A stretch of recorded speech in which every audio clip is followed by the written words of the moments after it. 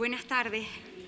Eh, hoy nos acompaña Manuel Vicent y pronunciará la conferencia titulada Travesía Literaria, incluida en el ciclo El autor y su obra, Encuentros con Creadores, en el que ya han participado, entre otros, José Saramago, Alberto Campo Baeza, Carmen Martín Gaite, José Ángel Valente, Susan Sontag, Juan Goitisolo, Eduardo Galeano, Gunter Grass, Ángeles Mastreta, Eduardo Mendoza, Rosa Montero o recientemente Manuel Rivas. Esta actividad se enmarca dentro de la programación de actividades del centenario del nacimiento de César Manrique, que la institución que lleva su nombre celebrará hasta el próximo 24 de abril de 2020. Durante su intervención, Vicent tratará de descubrir el primer germen del escritor, cuál es el inconsciente que lo nutre para ello repasará los hechos de su infancia, adolescencia y juventud que le impulsaron a dedicarse a la escritura y a escribir tal como lo hace. Al mismo tiempo que realiza esta travesía literaria, el conferenciante se adentrará en la historia del país y en el entorno de la sociedad en el que un escritor se desarrolla. Manuel Vicent es escritor y periodista. Desde hace más de 40 años colabora como columnista en el diario El País también ha escrito para revistas como Hermano Lobo o Triunfo. Su labor periodística ha sido merecedora de una variedad de galardones como el Premio González Ruano y el Premio Francisco Cerecedo, entre otros. En su faceta literaria es autor de más de una decena de obras entre las que destacan la galardonada con el Premio Alfaguara de Novela en 1966 titulada Pascua y Naranja o La balada de Caín, por la que obtuvo el Premio Nadal en 1987. La Fundación César Manrique agradece la presencia de Manuel Vicent hoy aquí y a ustedes su asistencia a este acto. Como es habitual, después de su intervención se abrirá un coloquio. Tiene la palabra Manuel Vicent. Muy bien.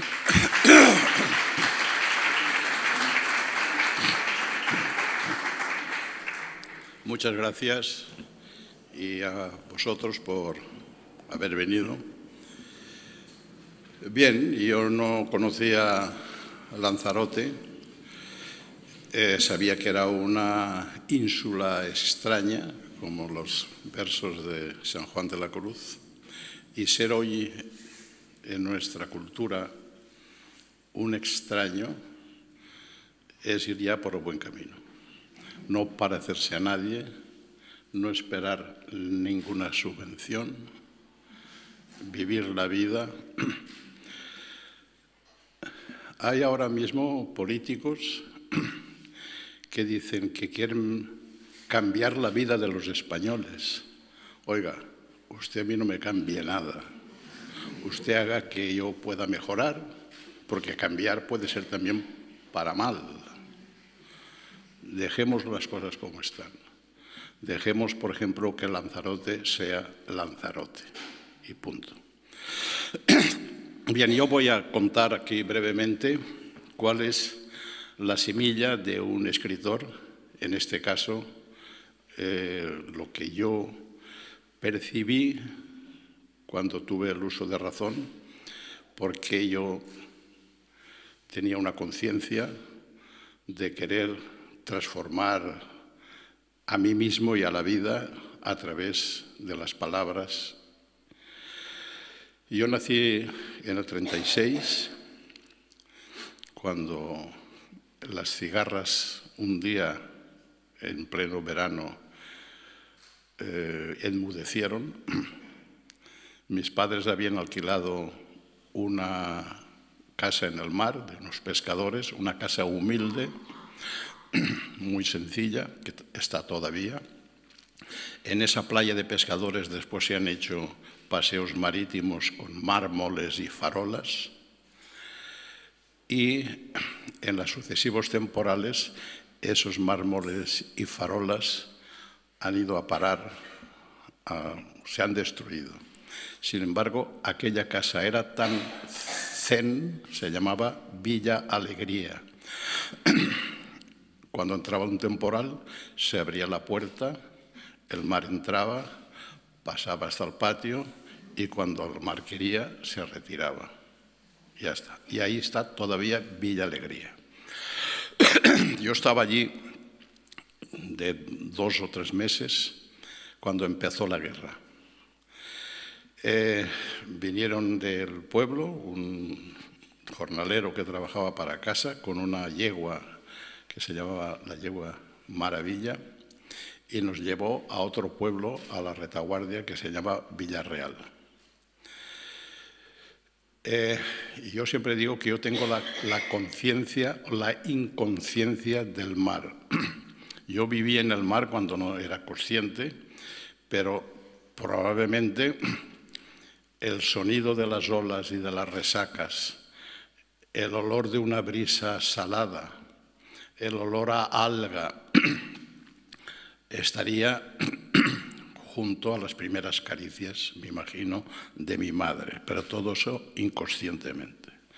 Esa felicidad preternatural que uno es inconsciente, de pronto está aplastada por una guerra fratecida. Y de vivir en una humilde casa que se llamaba Villa Alegría, mis padres, al huir del frente, alquilaron en Villarreal otra casa que se llamaba en la calle Ecce Homo, esquina Virgen de los Dolores. Está ahí todavía. Ambas dos, Villa Alegría y la esquina de, de Ecce Homo, están ahí. Bueno, perdón.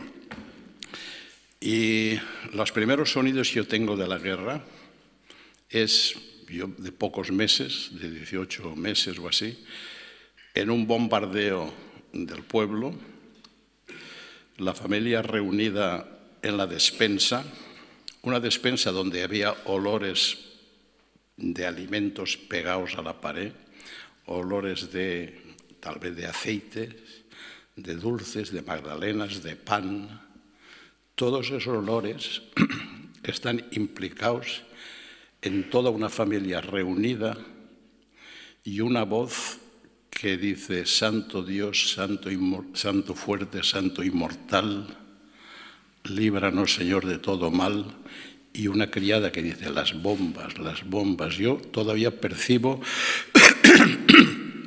unos sonidos densos del bombardeo de nules de un pueblo de al lado. Bueno, ya son dos se llama oxímeron, el olor a pan, el olor a aceite, el olor a magdalenas, un rezo frente a una guerra y unas bombas. Bueno, cuando yo tuve cuatro o cinco años, en el pueblo había un balneario que estaba derruido por el bombardeo, un, un balneario que había sido hospital de sangre. Primero, antes de la guerra era un balneario con cierta prestancia donde gente de la burguesía valenciana, esos señores con canotiers, pajarita y esas mujeres con pamelas y collares hasta la cintura, bueno, establecían una especie de seducción burguesa en esos balnearios, en ese balneario donde había un jardín maravilloso, etc. Todo eso fue bombardeado y yo desarrollé el cerebro límbico, previa al, uso de razón, lo desarrollé sobre esos escombros. Con un mito, a los niños, los mayores, nos decían que debajo de esos escombros había una mujer desnuda. una mujer desnuda. Y claro, los niños apartábamos cascotes, cascotes para ver a esa mujer desnuda que estaba debajo de los escombros. El balneario había quedado, tenía unas galerías con columnas de itálica que habían traído del derribo de itálica. Había unos artesonados, unas bañeras con garras de león, unos espejos velados, un jardín aplastado y debajo de esos escombros una mujer desnuda. Efectivamente, cuando pasado el tiempo se levantaron los escombros, se vio que efectivamente había un mosaico con la Venus de Botticelli saliendo del mar, rodeada de delfines. Esa búsqueda, claro, cuando ya se descubrió lo que era de verdad, yo ya tenía uso de razón. Pero esa mujer desnuda, esa belleza, digamos, debajo de la destrucción, yo ya la he incorporado a mi forma de ver el mundo. debajo de la destrucción está la belleza y la belleza incluye ya dentro de sí misma una destrucción. Después yo jugaba en las trincheras, que el frente de guerra se había parado allí, y yo veía restos de proyectiles, botas de militares llenas de tierra que habían florecido en, en plantas silvestres. De pronto veía un casco militar de acero convertido en una maceta llena de espliego y de flores, lleno de perfumes. Olía violentamente esos residuos de guerra, macutos podridos, algún soldado muerto por allí todavía. Todo eso explosivamente en medio de un perfume. Y desde ese punto de la ladera de la montaña siempre donde yo iba, la circunferencia del mar. Yo llegué a confundir de niño mi pensamiento con esa línea azul. Digo, pensar será tener esa línea azul en el pensamiento. Bueno, esa doble visión de las cosas es la que he llevado hasta ahora. Yo me acuerdo de que esos delfines, lo escribí el otro día en una columna, esos delfines que estaban debajo de los escombros de un balneario, eh, me llevaron también a otras ruinas de Gnosos en Creta, donde también había unos delfines azules saltando en unos frescos. Y esa sensación de belleza, esa sensación de belleza unida a las ruinas, tanto las del balneario como las de Gnosos, eso era un todo en mi forma de ver el mundo. Y como la estética y la belleza siempre se funden al final con la ética, hace poco, este mismo verano, eh, unos pescadores de arrastre, esos que llevan, pescan al arrastre con las redes, eh, sacaron un delfín pequeño, no muy grande. Es decir, eh, los pescadores cuando ven delfines se alegran porque el delfín hace que las demás peces se vayan hacia el fondo, huyendo de los delfines, y entonces el arrastre es copioso. Vale. Pero ese delfín se enredó en las redes del copo y al no poder salir a respirar murió. Sacaron el delfín y al abrirlo, al descuartizarlo, en el estómago ese delfín llevaba una zapatilla vieja, un estuche de plástico, varios calcetines y una serie de desperdicios humanos. Bueno, eso es lo que hay. Es decir, los delfines de mi infancia, los delfines de mi madurez, son ahora unos delfines que están llenas de basura humana. Bien, es verdad que a través de esa estética eh, se puede hacer arte, se puede hacer belleza, se puede hacer literatura. Nosotros tenemos tres cerebros. Tenemos el cerebro del reptil, que todavía actúa en la base del, del cerebelo. Ese cerebro nos gobierna el hambre, la sed, el sexo y el territorio. Pero un territorio, la serpiente es el animal territorial por excelencia, desde el punto que impuso su ley en el paraíso terrenal. Es decir, es un territorio donde tú comes, bebes y te reproduces. Por eso nosotros somos animales territoriales en cuanto que todavía somos reptiles. Cuidado con los nacionalismos. Nacionalismos que empieza por tu propia casa. Es decir, entra un desconocido en tu casa y te pones en alerta, ¿usted quién es? ¿Qué hace usted aquí? Bueno, eso se puede ensanchar ese territorio hasta el infinito. Después tenemos un cerebro límbico, que es el cerebro de las emociones, de los sentimientos que compartimos con los animales superiores. Y ese cerebro es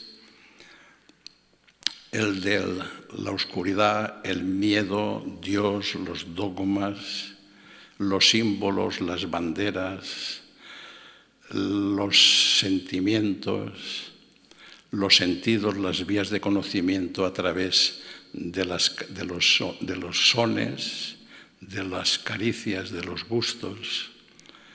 Es decir, todo eso amalgamado en los signos, los símbolos y los mitos.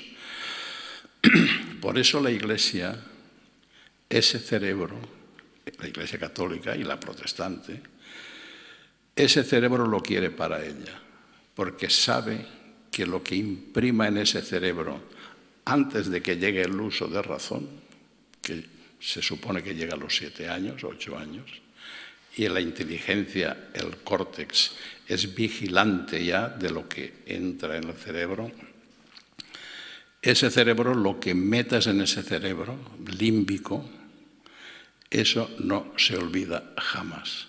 De hecho, para tomar la primera comunión, se nos exigía a los niños de entonces saberte de memoria todo el dogma, todos los dogmas del catecismo, porque si sabías que eso estaban, esos dogmas, ese Dios, esa bandera, esos himnos, ese miedo al Padre, eso estaba implicado para siempre.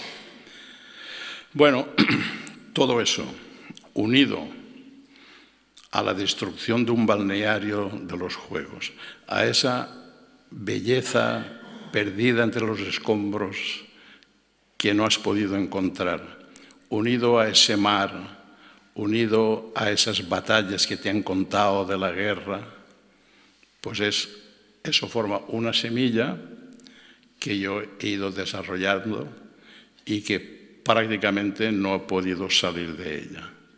Se dice que un escritor escribe siempre una única novela o un único artículo, pero yo doy vueltas y vueltas y vueltas y vuelvo al mar de mi infancia, a los sonidos de mi infancia, a los gustos, etc.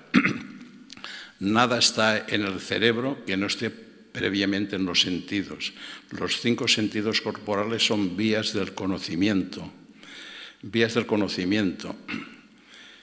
Y todo lo que sabemos, todo lo que hemos aprendido, lo hemos aprendido a través de los sentidos.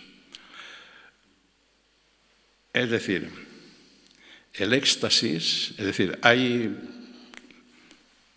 gurús o hay místicos que son capaces de unir dos o tres sentidos a la vez, tener la percepción de dos o tres sentidos a la vez.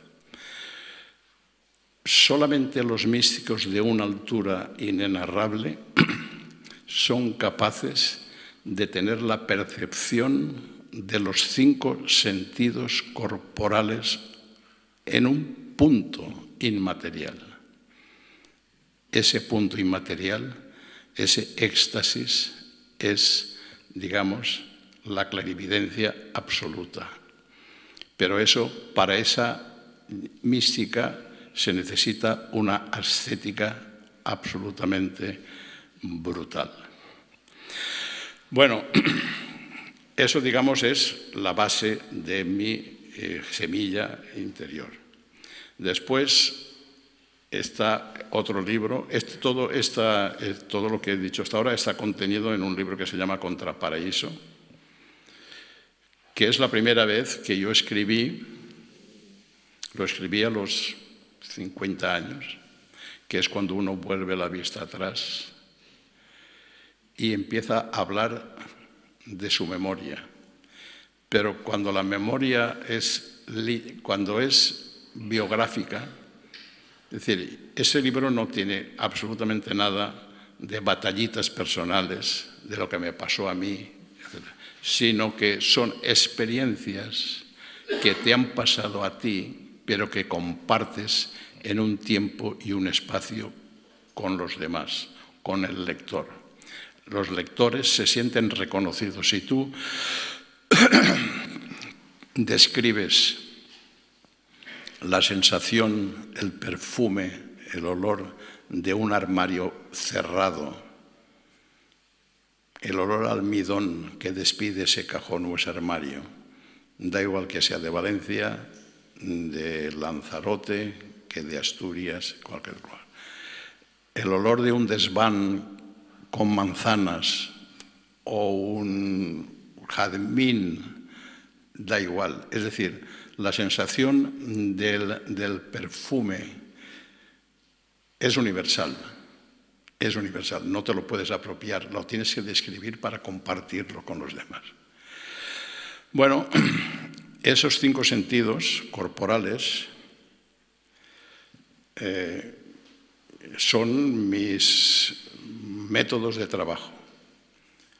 A mí, Azcona siempre me decía, eh, cuando empiezo a leer un libro de Vicente siempre me dan ganas de coger cuchara, tenedor, servilleta y empezar a comer, como si todo fuera comestible. Bien es verdad que el estómago es muchísimo más exigente que el cerebro. Es decir, lo que te metes en el estómago tiene unos controles que es la vista, ves lo que comes. Por eso cuando hablan de la comida mediterránea, la primera ley de la comida es la visibilidad, saber lo que comes. Porque si entras en un restaurante que no conoces al dueño, no conoces al cocinero, no conoces al camarero, y encima a media luz te traen una comida tapada con una salsa, meterte todo eso sin conocer a nadie en el cerebro, en el, estómago, se necesita muchísimo valor. Ahora bien, el estómago tiene la vista, el olfato, antes de entrar el alimento, el olfato, el gusto, el gusto, y cuando entra en el estómago, si no le gusta del todo, lo expulsa por arriba o por abajo. Sin embargo, lo que entra en el cerebro, ya le puedes meter basura al cerebro, que la admite toda, absolutamente toda. Veneno, cada día estamos respirando veneno. Y para mí, la cosa más degradante que pueda haber es estar comiendo un pollo hormonado oyendo un telediario. Es decir, porque son, eh, interactúan, la comida basura interactúa en la casquería que sale del telediario. Es decir, ¿tú cómo puedes digerir un pollo hormonado o una ensaladilla eh, mientras estás oyendo que han violado a una mujer y la han asesinado. ¿Qué pasa? Que el cerebro, es decir, a la mínima que la ensaladilla esté mala, la vomitas. ¿Y qué le pasa a ese cerebro que lo admite? Bueno, esa es otra, una derivada. Bueno, quiero decirte que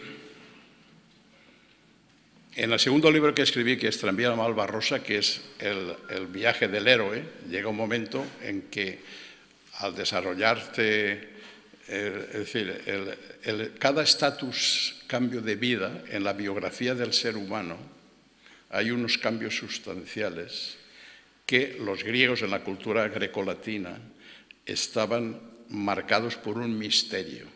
Al nacer había un misterio, al recibir la inteligencia había otro misterio, al demostrar el, macho que tenía fuerza suficiente para poder reproducirse, era otro misterio. Eso, en la cultura cristiana, lo que se llamaba misterio, aquí se llama sacramento. El sacramento de la confirmación es ese sacramento que antes el héroe tenía que demostrar en un viaje, en una hazaña. El, el Masai tenía que matar un león para poder reproducirse, para poder conquistar a, la hembra, a la novia, a la, mujer.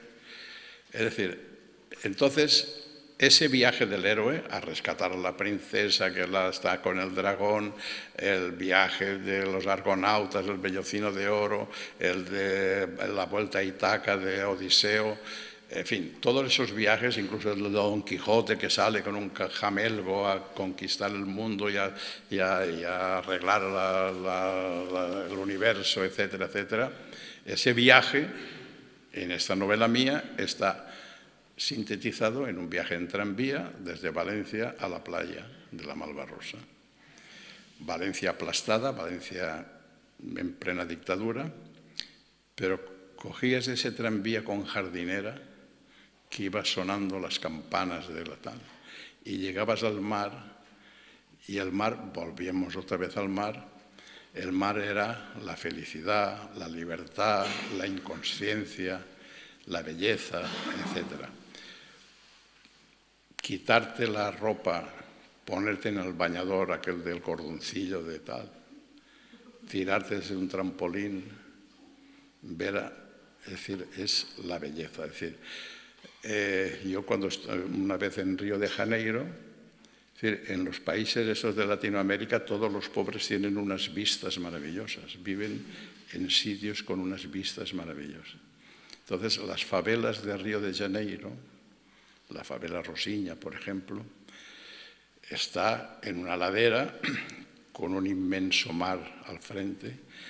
Cuando bajan de las favelas y llegan a la playa de Copacabana, se quitan la ropa y ahí lo que vale es el cuerpo.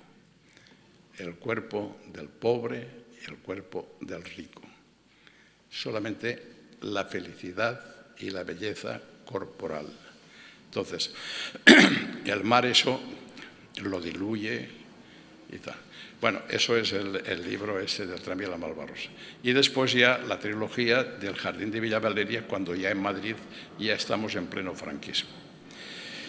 yo empecé a escribir novela pensando en que jamás llegaría a escribir en un periódico, no lo consideraba para mis... Esto. Hasta que un día, por un accidente, íbamos a ver a un amigo, un amigo me dice, vamos al periódico Madrid, que hay un amigo, porque tal, y a las 3 de la madrugada, que entonces era, este era un periódico de la tarde y se hacía de noche, llegamos allí, yo acababa de ganar un premio de novela, y entonces es el clásico redactor jefe que te dice, oye, enhorabuena, tal, eh, manda algo, escribe algo.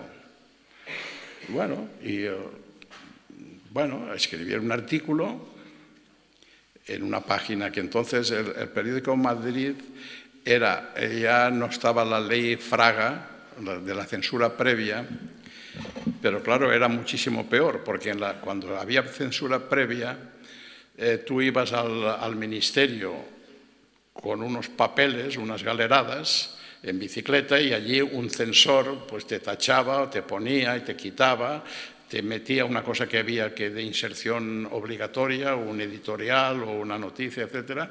Bueno, era humillante, pero no te arriesgabas más que las hojas esas, aparte de la humillación, ¿no? Pero ya quitan esa censura previa y entonces lo que te jugabas era todo el periódico, toda la edición, ¿no? Vale. Eso El periódico El Madrid, que al final fue dinamitado por el, franquismo, lo que más les fastidiaba no es lo que pusieras, que no te podías poner porque te arriesgabas, sino lo que no ponías. Es decir, si cuando Franco inauguraba un pantano, lo ponías en la página par y no le dabas mucha importancia. Cuando había un acto patriótico, tú no lo ponías. Claro, de no ponerlo, no te podían decir nada. Pero claro, eso les iba calentando. Bueno, total, que a mí era jugar con fuego. A mí me dicen, escribe, entonces yo escribo un artículo en esa página que eran pellizquitos de monja, ¿no? Y yo me doy cuenta que yo escribo esa cosa un viernes, sale un sábado a toda página, la página crítica, la tercera página. Y yo esa noche ya me di cuenta de que alguien me llamaba y decía, oye, me, ha gustado eso que has escrito, o no, ¿qué tal? Es decir, que eso estaba vivo. Y yo tenía una novela en unos escaparates polvorientos que nadie compraba.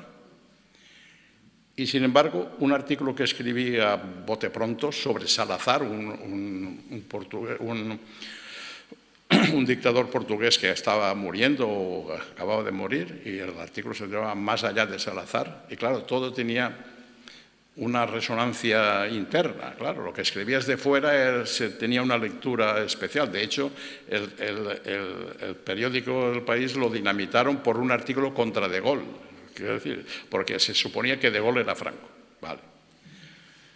Entonces yo pensé, yo tengo un libro polvoriento en un escaparate que no nadie compra. Y sin embargo esto esta noche lo ha leído mucha gente, que además esa página, en el mejor de los casos, envolverá mañana un kilo de pescado o algo peor.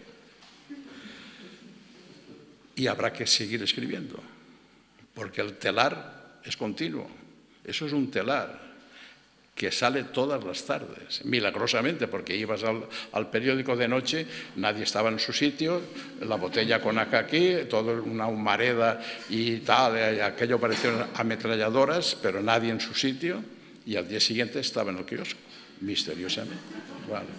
Digo, esto es, este misterio a mí me gusta. El hecho de que lo que tú escribas se lea o no, desaparezca o no, se lo lleve el viento, pero tengas que volver a escribir, si a mí encima de ese telar que se mueve, de ese tejido que se mueve, me dejaran hacer literatura, es decir, poner adjetivos, eh, pues para mí sería felicidad, porque me obligaría a escribir, incluso me pagarían poco, pero me pagarían a final de mes, y yo podría hacer literatura, ¿no? Porque no tenía sentido de las noticias, ni ahora mismo lo tengo, es decir, yo no sé lo que le interesa a la gente, pero en ese momento digo, bueno, pues, y, a partir de ahí empecé a escribir en los periódicos. Y yo en el periodismo lo he hecho prácticamente todo, menos periodismo puro y duro, todo. He hecho articulismo, he hecho crónicas parlamentarias, he hecho, en fin, viajes, eh, entrevistas literarias, etcétera y artículos. Entonces, eh, siempre se dice esa cosa de Hemingway de que el periodismo te lo permite todo con tal de que lo abandones a su debido tiempo. Y yo creo que también ahora se puede hacer al revés, que la literatura puedes abandonarla con tal de que puedas escribir en un periódico el género literario de esta última parte del siglo XX. Es decir, si en el futuro, si hay futuro, si hay futuro, la gente que va a vivir en el futuro quiera saber cómo éramos ahora, o de mitad del siglo XX hasta ahora, cuáles eran nuestros sueños, nuestros vicios, nuestros crímenes, eh, tendrán que leer los periódicos.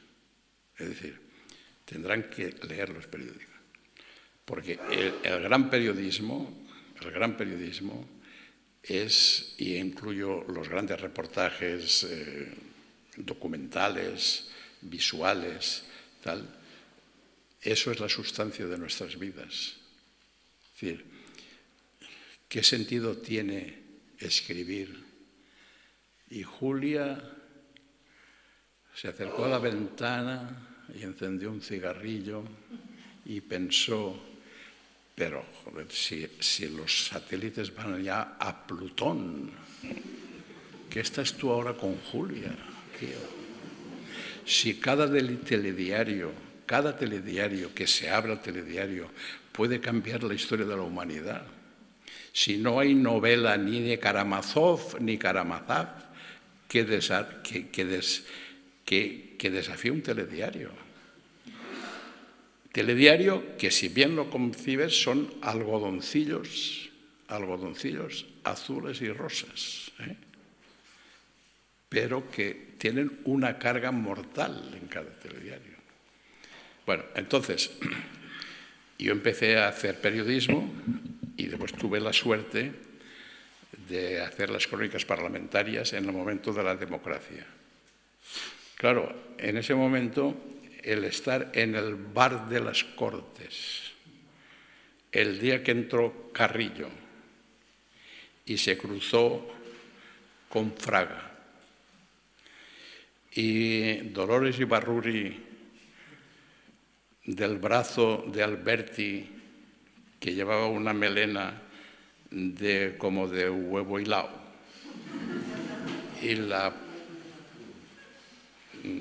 esto, la camisa llena de palmeras, como si aquello fuera Malibú. Unos que venían de la guerra, de la cárcel, este Montero, Sánchez Montero. Bueno, era, era casi explosivo todo, era explosivo. Y entonces, cómo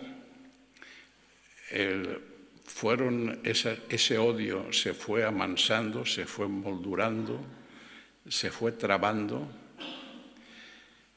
y acabaron llevando adelante una transición. Yo pienso que los políticos que tenemos ahora, con estos líderes que tenemos ahora, la transición no hubiera sido posible. Si esos políticos hubieran estado entonces, no hubiera habido transición. Entonces, yo me acuerdo que yo estaba en la, tribuna de prensa entonces, el hombre más odiado del mundo era, se llama Vandrés. Vandrés, que era de, vasco, de, Polimilis, no sé qué, que acabó siendo casi un misionario, un misionero que a los Polimilis los convirtió en socialistas, quiero decir. Bueno, pues ese era el más odiado del mundo. Y había un grupo mixto, que eran seis personas, en la cabecera estaba Blas Piñar y dos más para allá, eh. Se sentaban allí en la banca. Yo me acuerdo la primera vez que llegó Vandrés, Blas Piñar ni siquiera se levantó. No solamente no se levantó para que pasara por el escaño, sino que puso las rodillas por delante. Así un mes. Al cabo de un mes veo que Blas Piñar se retira un poco, mete a la tripa para que pase Bandés. Y digo, bueno, esto va, va bien. Al cabo de otro mes, eh, Blas Piñar hace así y pasa Andrés. Otro mes más y milagrosamente Blas Piñar se levanta, se retira y pasa Andrés. Y otro mes más, entra Andrés y dice, buenos días, buenos días. Vale. Se dice, se dice que Gil Robles y Prieto no se hablaron nunca. No, nada, ni por el pastillo ni nada. No se hablaron nunca. Se dice, y yo me lo creo, que si algún día Gil Robles y Prieto hubieran tomado un café juntos, no hubiera habido guerra civil. Bueno, entonces, eh, todo eso en las crónicas parlamentarias se veía, era una, una cosa. Bueno, y después de eso yo me he dedicado pues, a escribir artículos, a escribir eh, todo lo que, lo que he podido, y etcétera, etcétera. ¿Qué es para mí un artículo bueno? Un artículo, primero, que manda el espacio, ¿no? Es decir, si te dan eh, media página, un artículo tiene que ser de una forma, pero ahora si te dan una, una tira, a medida que el espacio es más constreñido, las palabras tienen más importancia. Es decir, tú coges un tratado de filosofía, lo exprimes como si fuera un limón y acaba siendo un aforismo. Si tú eh, coges un artículo, lo exprimes, lo exprimes y acaba siendo un poema o un cuento. Entonces, eh, para mí, la sensación que a mí quiero dar al lector es que después de leer un artículo, crea que ha pensado. Y dos, de cualquier cosa anodina que ve todos los días, que ve todos los días, eh, escribirlo tal cual, sucede todos los días, y en las seis o siete últimas líneas, como el que cambia de espejo, le da una vuelta al espejo y ve la realidad desde otro punto de vista inesperado. Eso para mí es el artículo ideal. Un artículo ideal que se escribe, yo desde hace 30 o más, lo escribo los domingos. Claro, un domingo eh, tú no tienes derecho a amargarle la vida a nadie. Es decir, porque tú el lunes, ahora ya no, porque ahora es todo con estos de los dedos y tal. Pero antes tú en el periódico, tú en el kiosco te definías, te definías. Dices, el, ABC, ya sabías. Es decir, yo por, el diseño físico se podía saber quién compraba el ABC, quién compraba el mundo, quién compraba el país, quién compraba...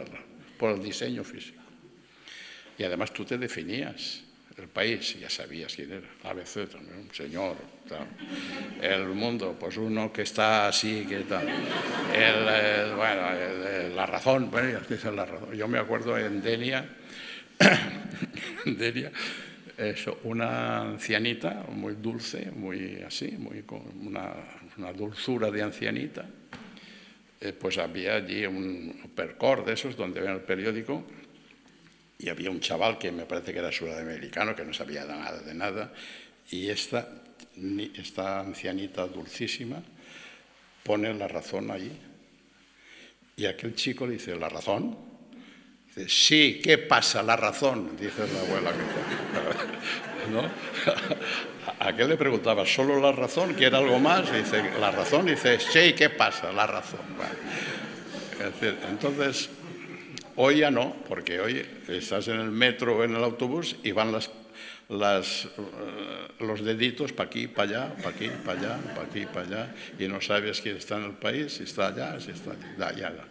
Entonces, antes te definías. Entonces, el domingo, aunque fuera el mismo lector, el lunes uno cogía eso como el que coge una navaja, cogías el ABC como el que coge un puñal. ¿no? Pero el domingo, aunque sea el mismo lector tuyo, no es el mismo lector. Está, se ha levantado tarde, tiene derecho a... lee el periódico con tranquilidad, se, rasca la espalda por debajo del pijama, bosteza, o lo hace en una, en una cafetería o en una terraza, en la cerveza. Bueno, entonces no tienes derecho a marcarle la vida a ese señor o a esa señora. Entonces, ¿qué haces? Por otra parte, cuando llega el domingo, todas las noticias están machacadas. Entonces tienes que, pues esa cosa misteriosa de que captas algo que está pasando y lo ofreces de una determinada forma. Bien, hoy ya no existe, es decir, hoy es las redes, yo siempre digo, es que eres pesimista, no soy nada pesimista porque ¿qué sucede? Que las redes, yo creo que las redes exactamente es el anticristo, sencillamente. Es decir, tal como viene la cosa, las redes pueden destruir el alma de la humanidad, el alma colectiva. cosa que no pasa nada.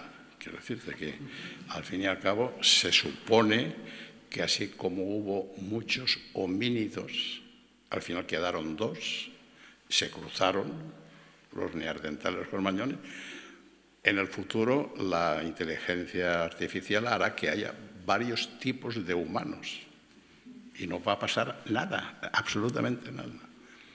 Como tampoco pasa nada si la humanidad desaparece y seguirán cantando los pájaros y bueno, y sobrevivirán eh, las lagartijas las cucarachas.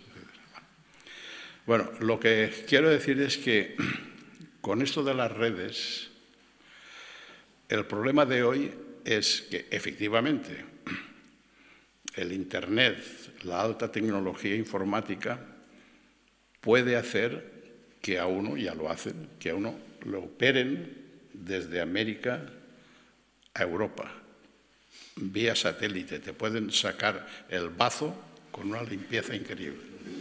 Te pueden solucionar el riñón, incluso trasplantarlo, pedirlo por no sé qué a China, que los venden a los ajusticiados. Sabes que en China, que en China eh, ejecutan a casi 3.000 personas al año, eh, cuidado, cuidado con los chinos. Te hacen comprar la bala, a la familia les, les obligan a comprar la bala y después te trocean y te venden por ahí, ¿no? Vale. Entonces, yo me explico a veces qué puede pasar si a un tío de de derechas le dicen, te vamos a trasplantar el hígado, pero es de un comunista. Es decir, ¿qué va a pasar ahí? Es decir, o un riñón, al revés, un riñón de un, a un socialista, oye, que ese riñón es del PP. Bueno, quiero decirte que eso, es decir, que, la, que, la, que la, la expansión científica va a ser brutal, pero el drama es que nunca la idiotez ha tenido un medio de expansión tan enorme. Es decir, una idiotez dicha por aquí automáticamente está en la Andrómeda. En la Andrómeda. Es decir, antes el idiota si no salía de casa no te enterabas. Pero ahora el premio Nobel más intrincado tiene los mismos medios para expandir su ciencia que cualquier idiota, exactamente, con el móvil. Es decir, un idiota con ese móvil expande su idiotez esférica y planetariamente. Entonces, como resulta que por desgracia hay muchísimos más idiotas que científicos, es decir, y que el pensamiento profundo da la sensación de que vuela menos que una soplapollez, que es aérea, pues la batalla está perdida. La batalla está absolutamente perdida. Dice Schoenhauer que no es que el hombre venga del mono, si no es que va al mono, que es distinto, va al mono. De hecho, es decir, ¿cómo empezó la inteligencia? Un mono jugando con un palo, con un palo, échale millones de años. Como decía, bueno, esta quijada, esta mandíbula es de, está entre dos y tres millones de años. Dice, exacto, exacto, entre dos y tres millones de años. Vale. Entonces, aquel ser afiló un sílex por un lado, para darse cuenta de que lo afilaba por los dos lados, tenía más ventajas, pasó un millón de años. Esa es la, cadencia, eh, cuidado.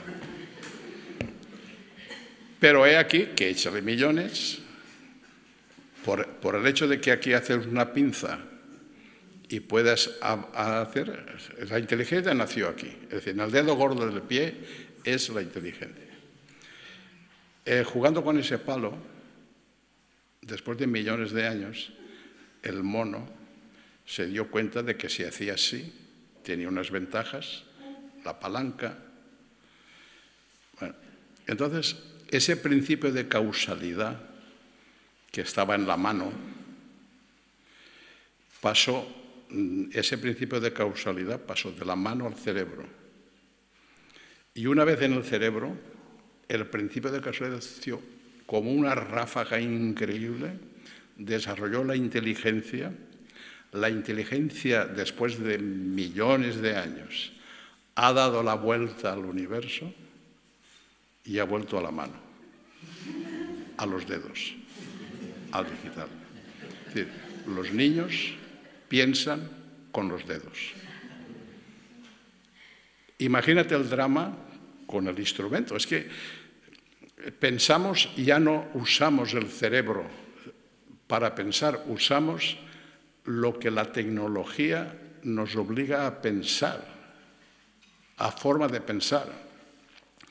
Es decir, eh, tú imagínate que tú mandas un mensaje a un amigo, una amiga, a un, adolescente, a su novia tal. le mandas un mensaje, eh, te quiero, para ponerlo fácil, te quiero. Tú sabes que le ha llegado y que lo ha leído. ¿Qué pasa si no te contesta inmediatamente? El que dice te quiero, que bueno, es una eh, puede ser un problema de, una, un, de un ejecutivo, de una fábrica. Es decir, esa inmediatez, ese totum revolutum, el que todo sea todo a la vez. Yo creo que a lo mejor la humanidad rompe por ahí a un espacio absoluto de felicidad. Pero yo creo que es de momento, el anticristo. El anticristo. Bueno, yo no sé si, bueno, ya llevamos una hora. Yo creo que es momento de que empecemos aquí de verdad a dialogar, que es a lo que hemos venido. De modo que nada más y muchas gracias.